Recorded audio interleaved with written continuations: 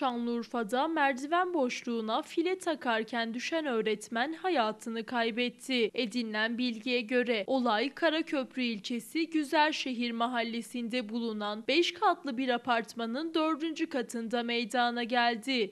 İddiaya göre binada oturan öğretmen Ali Apaydın merdiven boşluğuna güvenlik filesi takmaya çalışırken dengesini kaybederek beton zemine düştü. Dördüncü kattan düşen apaydını görenler durumu 112 acil servisine bildirdi.